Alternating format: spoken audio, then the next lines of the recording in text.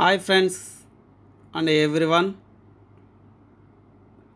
welcome to my YouTube channel Murali Konda ఈరోజు మీకు Amma Odi grievance సమాచారం తెలియజేస్తున్నాను.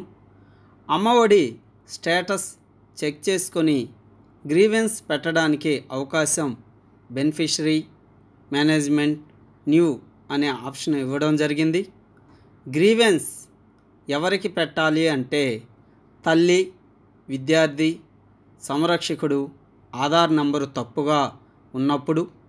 అదేవిధంగా విద్యార్థి తల్లికి అసలు రైస్ కార్డు లేకపోయినా విద్యార్థి తల్లి ఒకే హౌస్ హోల్డ్ మ్యాపింగ్ లేకపోయినా విద్యార్థి తల్లి అసలు హౌస్ హోల్డ్ మ్యాపింగ్లో లేకపోయినా విద్యార్థి తల్లి ఒకే రైస్ కార్డులో లేకపోయినా గవర్నమెంట్ ఎంప్లాయ్ ఒక ఒకవేళ ఇలాంటి నేమ్స్ వస్తే విద్యార్థి తల్లి తప్పుగా మ్యాపింగ్ చేయబడిన age caste electricity four wheeler gender ETC ఈ ఆప్షన్స్ నుంచి మీకు కావాల్సిన ఆప్షన్ ఎంచుకొని గ్రీవెన్స్ రైజ్ చేసుకోవచ్చు. అమ్మఒడి అర్హుల జాబితాలో బ్యాంక్ అకౌంట్స్ యాక్టివ్ ఇన్యాక్టివ్ నందు ఇన్యాక్టివ్ ఉన్నవారు బ్యాంకుకు వెళ్ళి యాక్టివ్ చేసుకొని ఎన్పిసిఐ చేసుకోగలరు. గత రెండు సంవత్సరములు అమ్మఒడి పథకం డబ్బులు మీరు మీ యొక్క బ్యాంక్ అకౌంట్ వివరాలు స్కూల్లో ఇచ్చేవారు. వాటినే స్కూల్ లాగిన్లో ఎన్రోల్ చేసేవారు. ఆ బ్యాంక్ అకౌంట్లో డబ్బులు పడేవి. కానీ ఈ సంవత్సరం అలా కాదు. ఎన్పిసిఐకి లింక్ అయిన బ్యాంక్ అకౌంట్లో మాత్రమే అమ్మఒడి డబ్బులు పడతాయి. ఎన్పిసిఐ అనగా national payment corporation of India.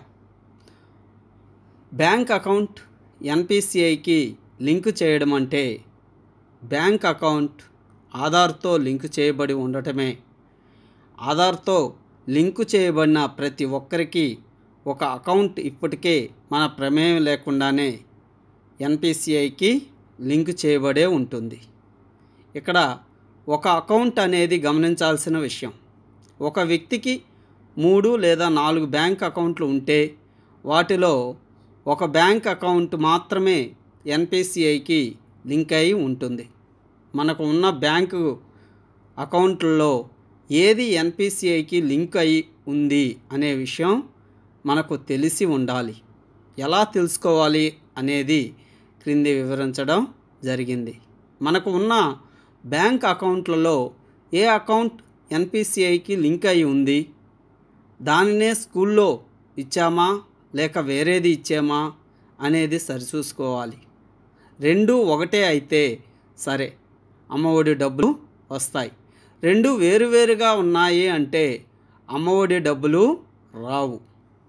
రెండు ఒకటే ఉండేలా అటు బ్యాంకులో అయినా లేదా ఇటు స్కూల్లో అయినా మార్చుకోవాలి. ఒక పేరెంట్ ఒక బ్యాంకులో మాత్రమే అకౌంట్ ఉంది అనుకుందాం. ఒక అకౌంట్ మాత్రమే ఉంది. అది ఆధార్లో లింక్ అయి ఉంది కాబట్టి ఎన్పిసిఐకి కూడా లింకు చేయబడి ఉంటుంది. దానినే స్కూల్లో ఇచ్చి ఉంటారు. దానిలోనే అమ్మఒడి డబ్బులు పడతాయి.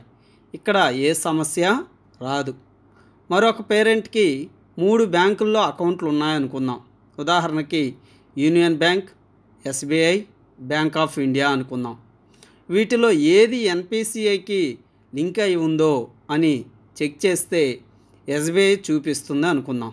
కానీ స్కూల్లో బ్యాంక్ ఆఫ్ ఇండియా అకౌంట్ వివరాలు ఇచ్చారు అనుకుందాం. ఇక్కడ సమస్య వస్తుంది. బ్యాంక్ ఆఫ్ ఇండియాలో డబ్బులు పడవు. ఎస్బీఐలో మాత్రమే పడతాయి. గత రెండు సంవత్సరాలు బ్యాంక్ ఆఫ్ ఇండియాలోనే డబ్బులు పడినప్పటికీ ఈ సంవత్సరం పడవు. ఇప్పుడు పేరెంట్కి రెండు ఆప్షన్స్ ఉంటాయి. మొదటి ఆప్షన్ ఎస్బీఐ అకౌంట్ వాడుకలో ఉండేలా చూసుకోవాలి. ఒకవేళ చాలా రోజులు వాడక ఇన్యాక్టివ్లో ఉంటే యాక్టివ్ చేయించాలి. మరియు స్కూల్లో బ్యాంక్ ఆఫ్ ఇండియాకి బదులుగా ఎస్బీఐ అకౌంట్ వివరాలు ఇచ్చి బ్యాంక్ ఆఫ్ ఇండియా వివరాలు తీసేసి ఎస్బీఐ అకౌంట్ వివరాలు ఎన్రోల్ చేయమని స్కూల్ వారిని అడగాలి. రెండవ ఆప్షన్ ఎస్బీఐ పడడానికి వీలు లేదు. మాకు ఎప్పట్లాగనే బ్యాంక్ ఆఫ్ ఇండియాలోనే పడాలి అంటే బ్యాంక్ ఆఫ్ ఇండియా బ్యాంకుకు వెళ్ళి అకౌంట్ని ఎన్పిసిఐకి లింక్ చేయమని బ్యాంక్ వారిని అడగాలి. ఇలా ఎన్పిసిఐ లింక్ అయిన బ్యాంక్ అకౌంట్ మాత్రమే స్కూల్లో ఎన్రోల్ అయ్యి ఉండేలా చూసుకోగలరు. అమ్మఒడి అర్హత మరియు రీవెరిఫికేషన్ జాబితా రెండింటిలోనూ లబ్ధిదారు పేరు లేకుంటే ఏమి చేయాలి? రెండు వేల ఇరవై ఒకటి ఇరవై రెండు విద్యా సంవత్సరం ఒకటి నుండి పన్నెండవ తరగతి వరకు చదువు పిల్లలు అమ్మఒడి ఎలిజిబుల్ లిస్టులో లేకున్నా అటువంటి పిల్లలు తల్లిదండ్రులు వారి గ్రామ సచివాలయాన్ని సంప్రదించగలరు. గ్రామ సచివాలయం ద్వారా గ్రీవెన్స్ రైజ్ చేయగలరు. ముందుగా చైల్డ్ ఐడితో బీఓపిలో చెక్ చేయండి. అందు పేరు అందుబాటులో ఉంటే బిడ్డ మరియు తల్లి ఇద్దరి ఆధారు నమోదు చేసి ఈ కేవైసీ పూర్తి చేయాలి.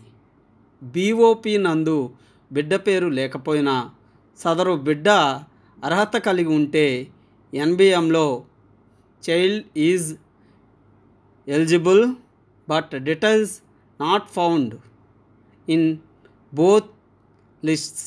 విభాగమునందు ఫిర్యాదు నమోదు చేయాలి. ఇది అమ్మఒడి సమాచారం. అందరికీ తెలిసి విధంగా నేను ఈ వీడియో చేయటం జరిగింది. Thank you.